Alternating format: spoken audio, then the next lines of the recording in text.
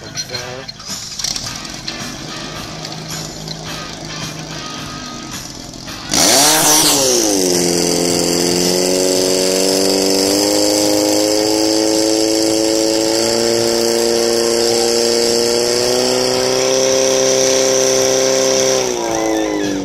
No, vypadá to, že premiéra Vracelických žen dopadla dobře, že ten